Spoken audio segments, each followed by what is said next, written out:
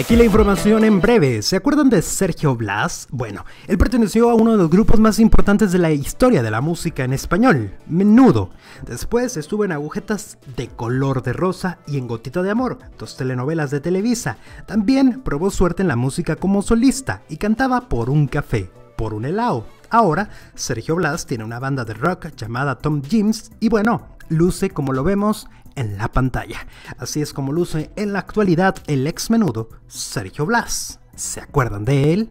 Dejen un comentario, suscríbanse al canal, compartan este video.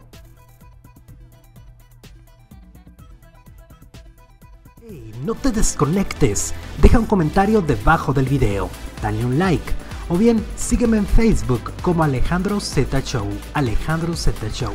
Mi Twitter es Alejandro Z Radio o suscríbete al canal para que veas nuestros nuevos videos antes que nadie. La información de los famosos en Alejandro Zúñiga presenta.